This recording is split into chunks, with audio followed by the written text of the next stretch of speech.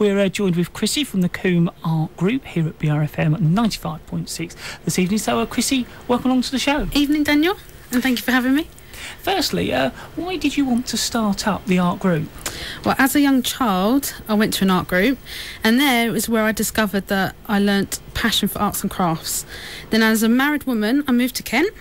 I looked for a social art group, however, I couldn't find any Okay. that would give you ways to draw um, and learn new skills. And so I combined all my art and craft skills and knowledge to plan monthly themes for the community so they can join a fun, friendly, and sociable art group for artists and abilities and all ages.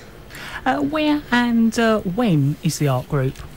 It starts on Thursday, the 2nd of December at 10am to 12 noon. Then it follows on every Thursday after, and it will be held at Woodcombe Clubhouse at Church Road, Murston, Sittingbourne. What do artists need to bring each week? All artists are welcome to use their normal art materials um, and mediums, or they can use the group's own art materials and follow our monthly theme. Artists are welcome to bring easels, however, we will have tables, chairs, and refreshments will be provided.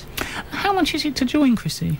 There is no membership fee to join the Coombe Art group, and it's only £3 per person per week. Um, what events are you um, planning at the uh, Group?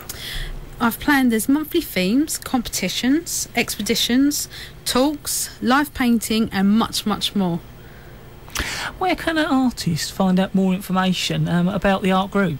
Anyone can find out more details online at www.coomartgroup.kk5.org or contact me by 07859 811 620 or join us on Facebook.